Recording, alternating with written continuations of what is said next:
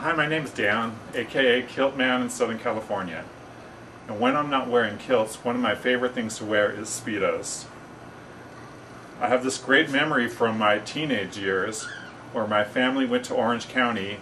My parents actually picked a spot on the beach in front of two hunks in Speedos. And from that moment on, I've been very taken with them.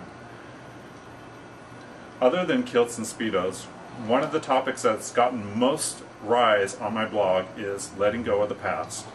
So in this video, I'm going to be letting go of some old friends, some old Speedos.